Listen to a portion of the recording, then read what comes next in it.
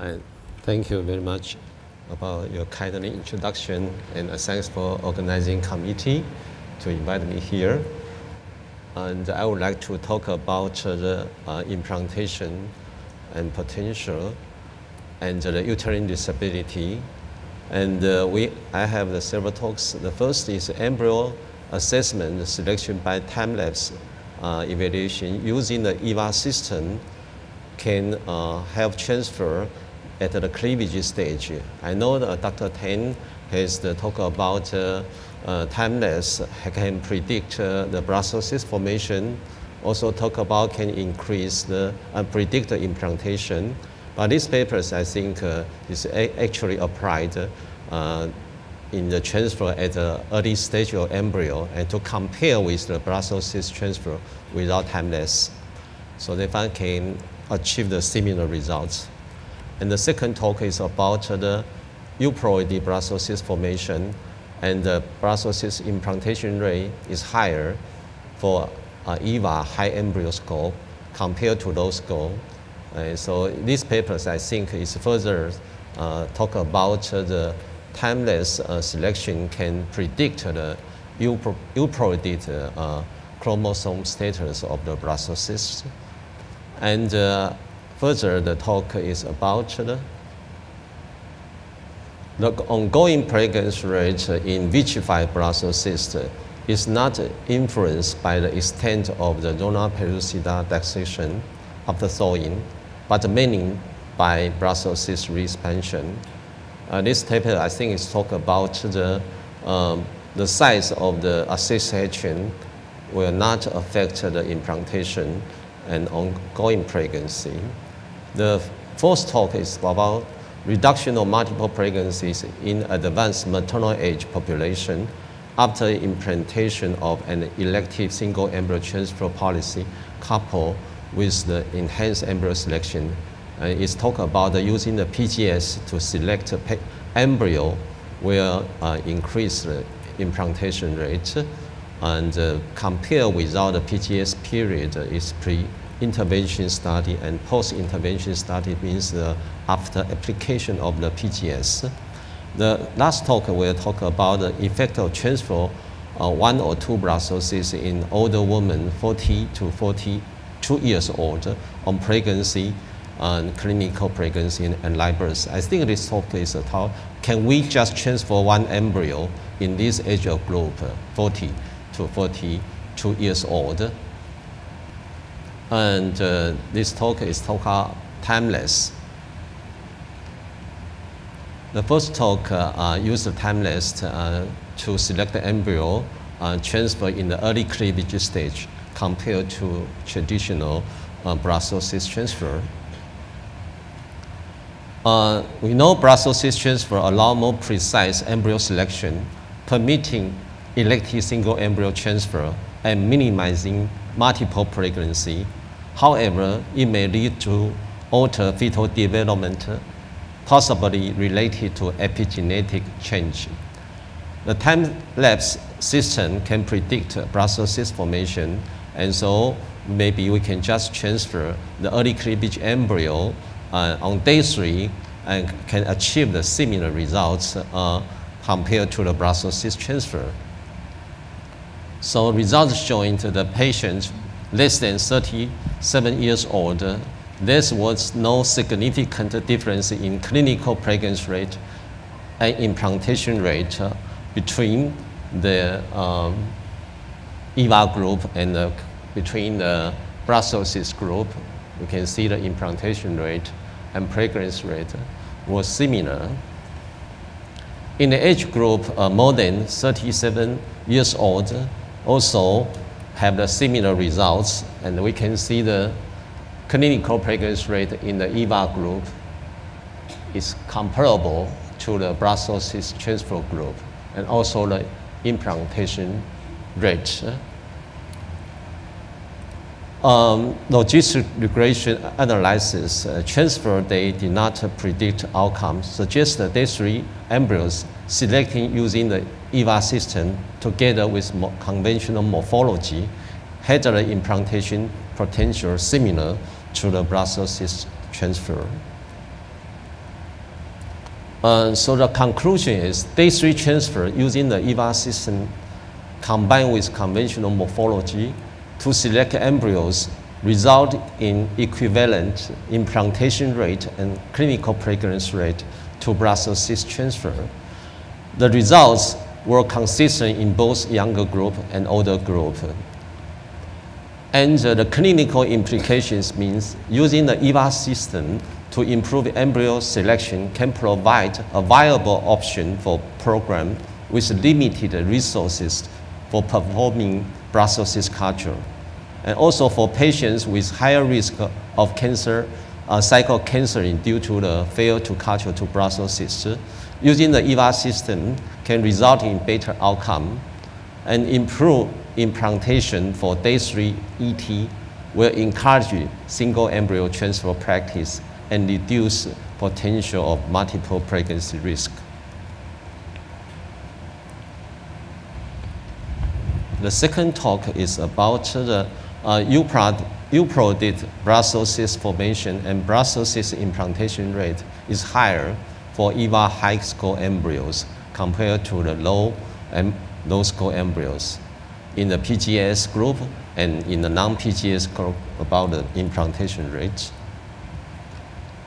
Uh, time-lapse systems parameters has been correlated uh, to aneuploidy risk and uh, it can maybe it can predict aneuploidy risk, but the actually the results is quite controversial in the past uh, literature. Uh, can to improve IVF outcome, the EVA system is an automatic time-lapse systems and embryo uh, classifications can reduce the need uh, to measure the time-lapse parameters uh, manually. Unlike the other uh, time-lapse system, you have to uh, calculate by yourself. And uh, the purpose of this study is, is to evaluate the correlation of EVA test with chromosome status of blastocyst and implantation rate.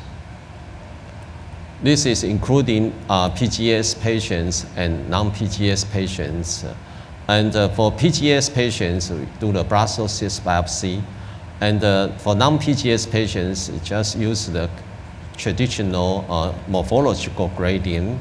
The time-lapse results uh, were not uh, were blinded to the embryologist. The embryologist do not know the time-lapse results, then further analyze the data. The results showed EVA high score embryos has significant higher euploidy rates of the blastocyst than EVA uh, low score system. The EVA high score embryos has significant higher day 5 implantation rate compared to the low score embryos the conclusion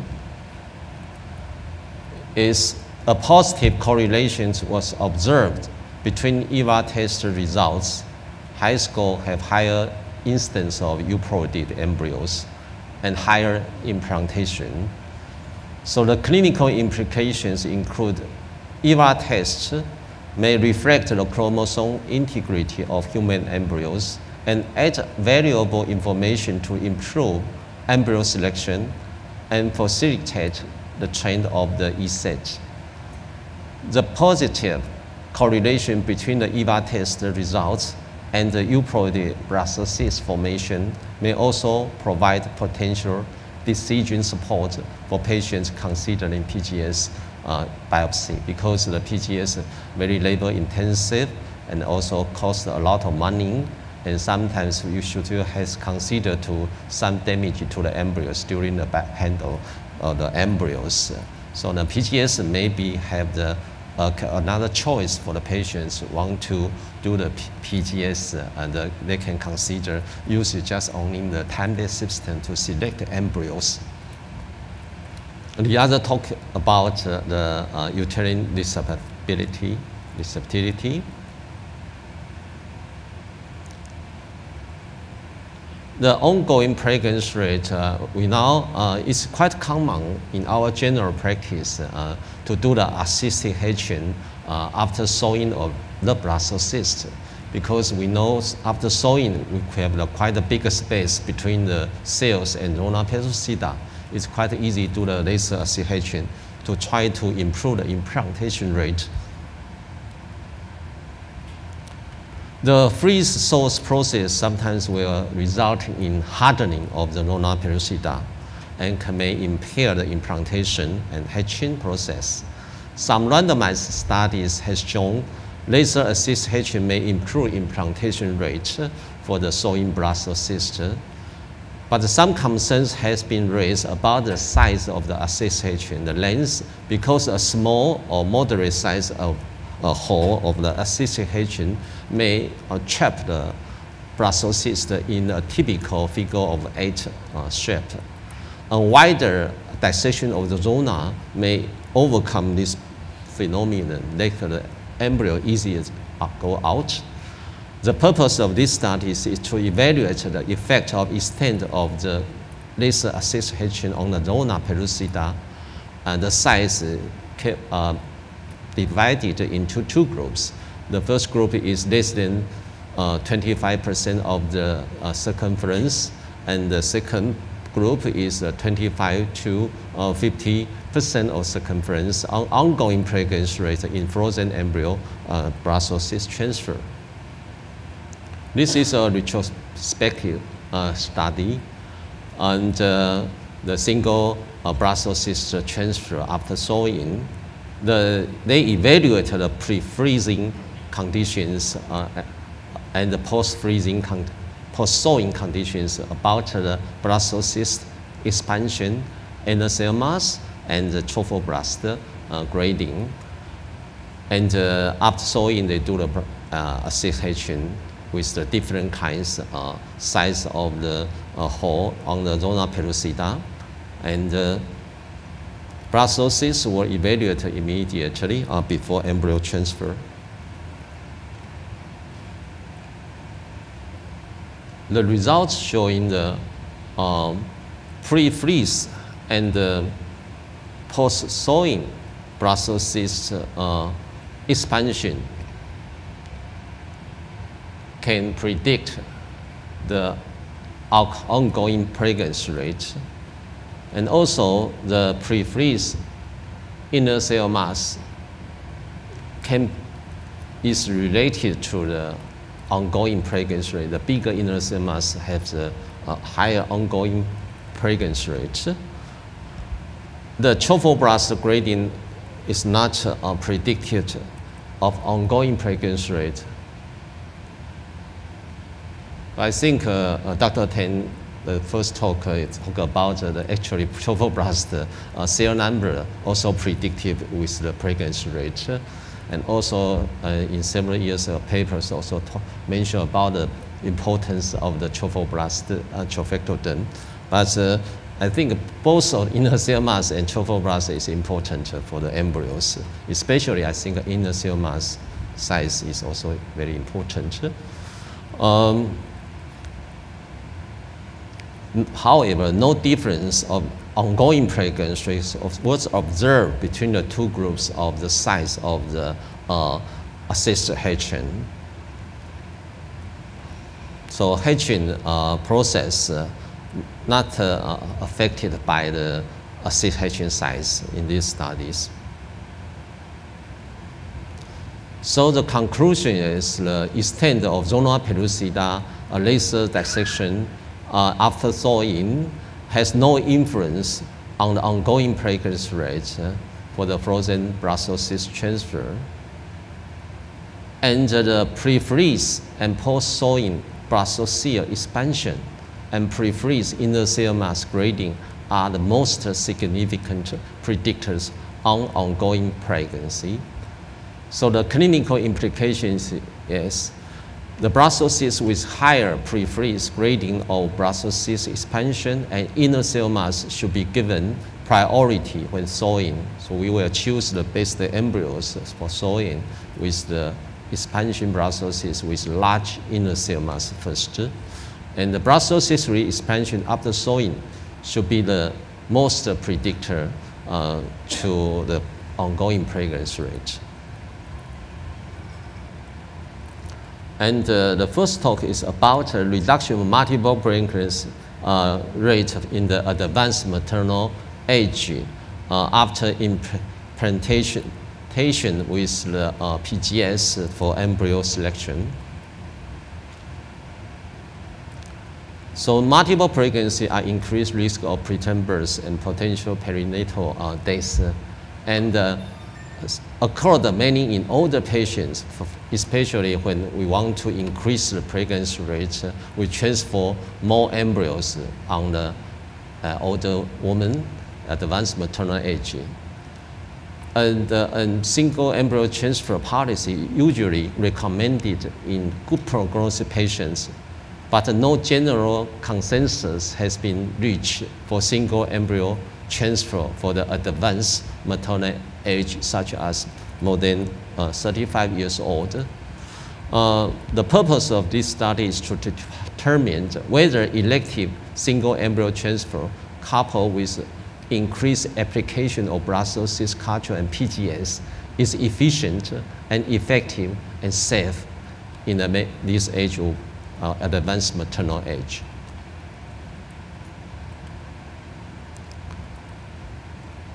This studies uh, is select, uh, uh, try to do the single embryo transfer for the advanced maternal age. And the uh, four years study period, the first period is without PGS, so it's the pre-intervention period. And compare in recent one or two years with the PGS, is the post-intervention period. And uh, in the post-intervention period, all couples with good quality embryos and uh, have less than two previous implantation failures were offered with elective embryo transfer. And embryo transfer was enhanced by the PGS with trophectoderm biopsy and the uh, CCS. And ESET was also applied on the cryopreservation uh, cycles. The efficiency was significantly higher during the, uh, after the PGS, the post-intervention period, has been shown to uh, the per embryo transfers to reach a live birth is higher in the post-PGS period, the post-intervention period, compared to the pre-intervention period. Also, we can see the embryo transfer number was decreased in the post-intervention period, and also the multiple pregnancy rate was decreased compared with the pre-intervention uh, period, and have a similar cumulative clinical pregnancy rate for oocyte retrievers uh, between the prevention period and the post-intervention period the cumulative, I think is the first, uh, is a very important study to show the cumulative pregnancy rate is similar with PGS and without PGS.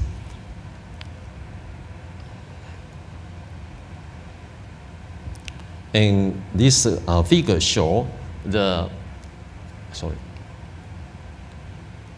the cumulative pregnancy rate uh, in the pre-intervention period and post-intervention intervention period is no difference. And uh, however, the multiple pregnancy rate significantly reduced after applied with the PGS and the single embryo transfer. So the, the efficacy was not changed uh, after PGS uh, is uh, defined by the uh, delivery per oocyte retrieval cycle is not a decrease. The conclusion is application of the single embryo transfer policy combined with the uh, PGS uh, can be used in advanced maternal age to reduce uh, the multiple pregnancy rates and to increase the efficiency in per transfer pregnancy uh, while still maintaining the cumulative pregnancy rate uh, per oocyte or retrieval. The clinical implication in the advanced maternal age popula population uh, enhanced embryo selection procedures with PGS allows a reduction in number of embryo transferred with increased efficiency per transfer of pregnancy rate and safety uh, to reduce the multiple pregnancy and without affect the uh, cumulative pregnancy rate, the total effic efficacy was not changed.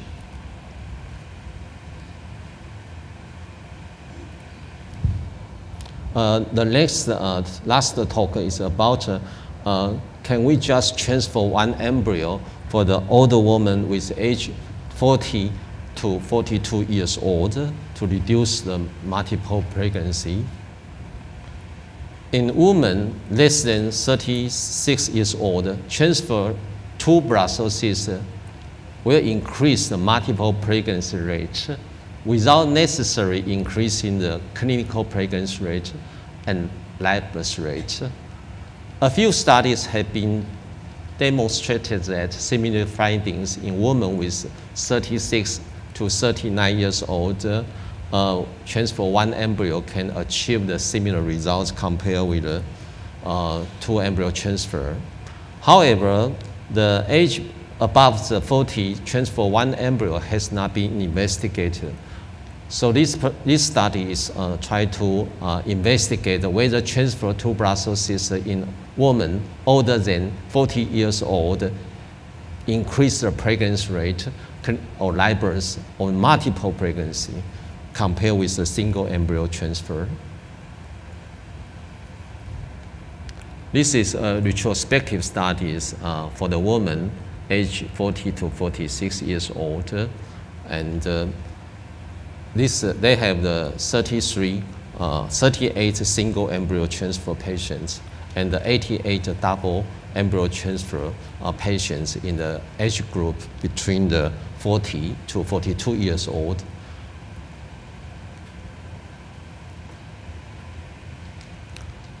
The results show the pregnancy rate and the clinical pregnancy rate and the live birth rate were comparable regarding list of the number of embryo transfer. For one embryo transfer, the live birth rate is 21%. For two embryo transfer, the live birth rate was similar. It's about 40%, 19%. And uh, however, the multiple pregnancy rate was significantly different. In this study, there's no multiple pregnancy rate for single embryo transfer, but the two embryo transfer result in the 24% multiple pregnancy rate. Uh, the conclusions, uh, transferring of two cysts in women aged 40 to 42 years old does not improve clinical pregnancy outcome and only increase the rate of the multiple births when compared to the single embryo transfer. The clinical implications is that given the pregnancy rate do have room to increase in older women, women transfer three or more cysts in this age group could improve clinical results, but a concurrent increase in multiple pregnancy rate is likely.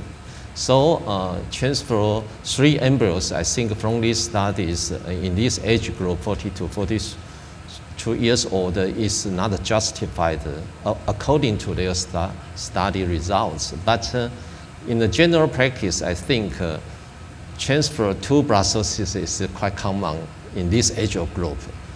Uh, because for my opinion, the aneuploidy rate is quite high in this age of group. Uh, transfer one embryo and two embryo can achieve the similar results is questionable, but the papers say the similar results. So that's why maybe transfer two or one of embryos is enough for the 40 to 42 years old, but three is too, too much. Thanks for your attention.